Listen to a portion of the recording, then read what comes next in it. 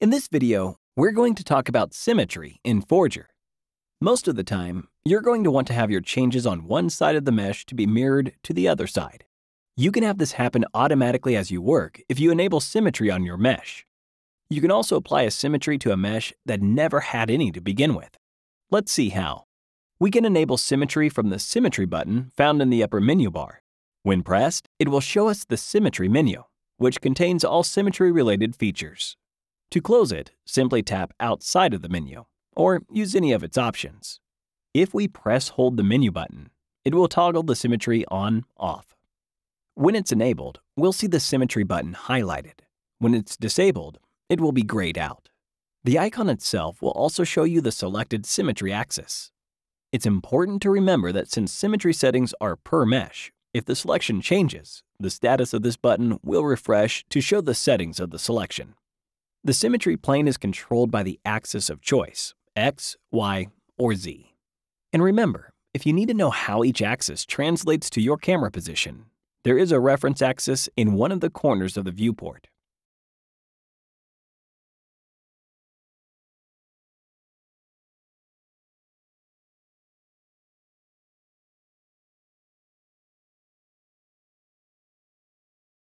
You can enable and disable the symmetry line display from the iToggle button at the top of the symmetry menu.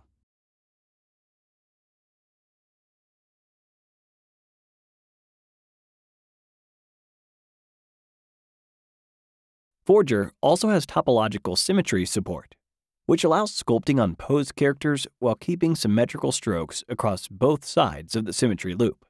To enable it, you must have a topologically symmetrical mesh without triangles and mask two adjacent faces, one on each side of the topological axis you want to define. After masking them, we can scan the symmetry by pressing the Scan button. If the scanning is successful, it will enable topological sculpting, allowing us to sculpt symmetrically on our posed mesh.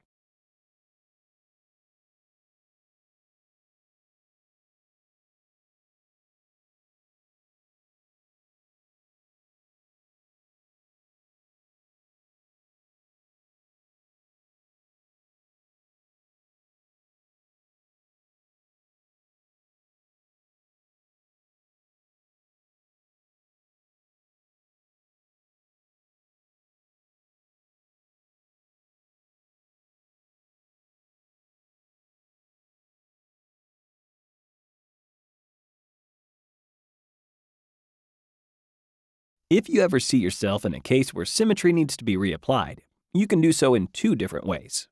The first one is reapply symmetry. This method relies on having a topologically symmetrical mesh.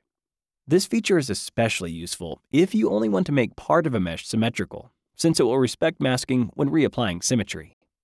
The second method is to use the Make Symmetrical option. This action will slice the input mesh across the symmetry plane, duplicate and mirror it, and merge the mesh. You can use this option to make meshes symmetrical, even if they had never been symmetrical before.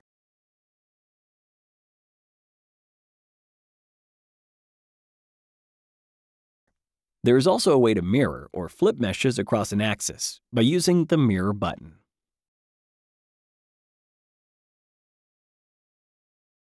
And remember, if you forget what any menu entry does, you can tap and hold on it to bring up a little tooltip with a brief explanation. In some cases, you will see an accompanying image to help clarify the text. If you like this video and want to see more like it, please let us know by giving this video a thumbs up and subscribe to the channel for more content like it.